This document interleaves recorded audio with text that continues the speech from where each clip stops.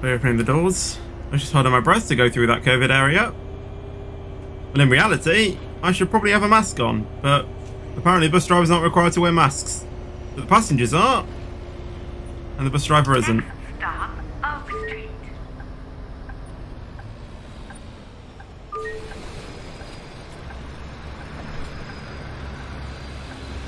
Right, that seat is out of bounds, okay? No one sits on that seat.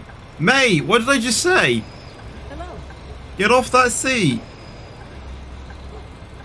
No one listens to me, do they?